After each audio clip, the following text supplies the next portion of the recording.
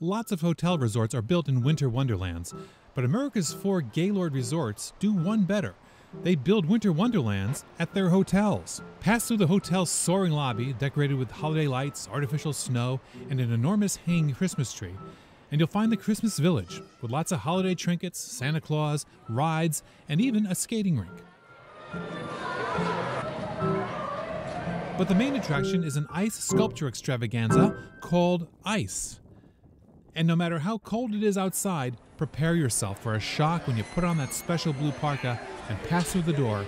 It's 9 degrees inside.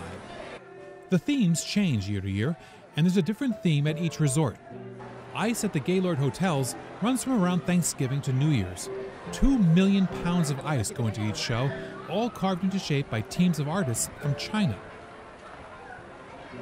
The carving process begins in October when three kinds of ice, clear, colored, and white, are trucked in from nearby ice factories. Visitors walk from scene to scene, and no matter what the theme, there's always a two story ice slide that's fun for young and old.